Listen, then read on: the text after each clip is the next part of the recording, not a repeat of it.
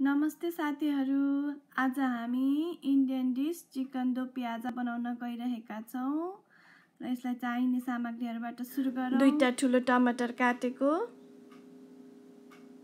एउटा प्याज मसिनो गरी काटेको एउटा प्याज ठुलो ठुलो गरी काटेको डेढ चिया चम्चा खोर्सानीको धुलो एक चिया चम्चा जिरा एक चिया चम्चा धनियाँ पाउडर डेढ चिया चम्चा बेसार एक एक चिया चम्चा कोरेको अदुवा र लसुन। धनियाँ पात सजाउनको लागि नुन स्वाद अनुसार।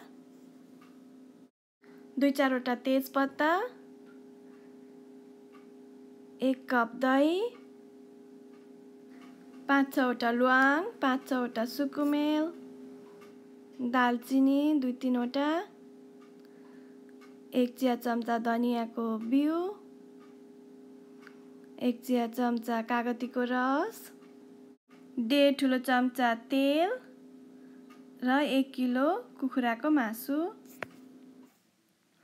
सबैभन्दा पहिला हामी एउटा प्यानमा जिरा धनियाँ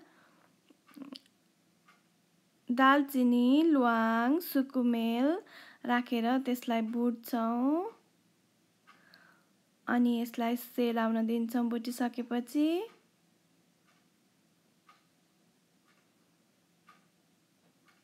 यो सेलाएपछि हामी यसलाई पिसेर यसको धुलो बनाउँछौँ र यसलाई हामी गरम मसलाको रूपमा प्रयोग गर्दैछौँ। हामीले एउटा टमाटर लिएका छौँ दुईवटा टमाटर सरी अनि त्यसलाई हामीले प्युरी गरेर टमाटर पेस्ट बनाएका छौँ। अब हामीले मासुमा नुन धनियाँको धुलो बेसार र कागतीको रस अनि खोर्सानीको धुलो राखेका छौँ र अनि हामी यसलाई राम्रोसँग मोल्छौँ। मसलाहरू सबैतिर लाग्ने गरी मोल्छौँ। त्यसपछि हामीले अघि धुलो बनाएर राखेको गरम मसलालाई पनि आधा गरम मसला चाहिँ यसमा राखेर हामी राम्रोसँग मोल्छौँ फेरि सबैतिर लाग्ने गरी। हामीले सबै मसलाहरू चाहिँ आधा आधा मात्रै प्रयोग गरेको छौँ। आधा चाहिँ हामीले पछिको लागि बचाएर राखेका छौँ। र त्यसपछि हामी यसलाई मोलेर आधा घन्टा छोडिदिन्छौँ यत्तिकै। हामीले एउटा कराईमा तेल राखेका छौँ। यसलाई हामी तताउँदैछौँ। तेल तातेपछि हामी यसमा मसिनो गरी काटेर राखेको प्याज राख्छौँ र प्याजलाई भुट्छौँ अनि हामी यसमा तेजपत्ता पनि राखिदिन्छौँ। प्याज हल्का रातो हुन्जेलसम्म हामी भुट्छौँ। प्याज भुट्दै गर्दा हामी एउटा भाँडोमा दही एक कप दही लिन्छौँ। त्यो दहीमा चाहिँ बाँकी रहेको मसलाहरू खोर्सानीको धुलो बेसार अनि अलिकति नुन र अलिकति यो धनियाँको धुलो राखेर दहीमा हामी राम्रोसँग मिलाउँछौँ फिट्छौँ दहीलाई। यो मसलाहरू सबैतिर लाग्ने गरी दही मजाले फिट्छौँ। मलाई चाहिँ यहाँ अलिक कलर राम्रो लागेन र मैले बेसार थपेको छु। अब हाम्रो प्याज पनि हल्का रातो हल्का ब्राउन कलरको भइसकेको छ। त्यतिखेर हामी यसमा टमाटरको प्युरी टमाटर पेस्ट हालिदिन्छौँ अघि हामीले बनाएको र हामी यसलाई पकाउँछौँ। अनि यो पाक्न थाल्दा हामी अदुवा र लसुनको पेस्ट पनि राखिदिन्छौँ।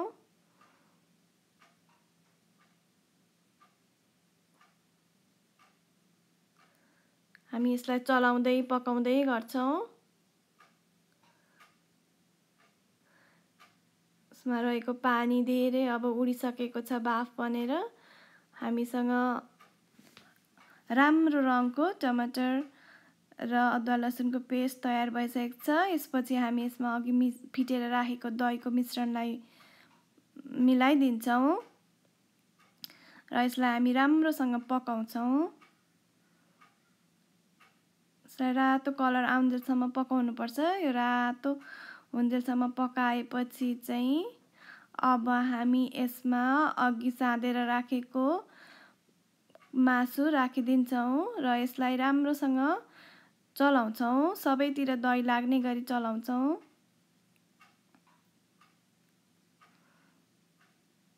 अनि यसलाई छोपिदिन्छौँ। र छोपेर दस मिनटसम्म पकाउँछौँ। दस मिनटपछि खोलेर हेर्छौँ र एकपल्ट यसलाई फेरि चलाउँछौँ खोलेर। र अब यसलाई फेरि छोपेर अरू पाँचदेखि सात मिनट पकाउँछौँ र फेरि यो पाक्दैछ। हेर्नुहोस् त यो कुखुराको मासुमा भएको सबै पानीहरू बाहिर निस्किँदैछ। यति बेला हामी गरम मसला मिसाउँदैछौँ।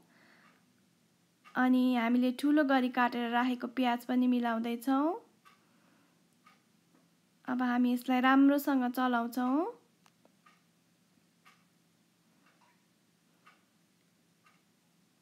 र चलाइसकेपछि यसलाई अरू पाँच मिनटसम्म छोपेर पाक्न दिन्छौँ।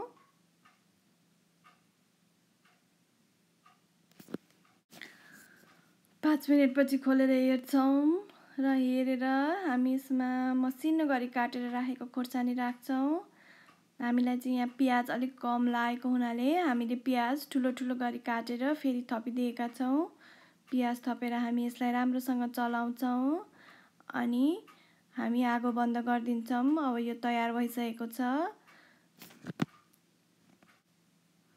तयार भएको भइसकेको चिकन दो प्याजालाई हामी एउटा भाँडामा निकाल्छौँ। हजुरहरू पनि बनाएर खानुहोला। अनि कस्तो लाग्यो हामीलाई भन्न नभुल्नु होला लाइक सेयर कमेन्ट सब्सक्राइब गरिदिनु होला प्लिज बाई बाई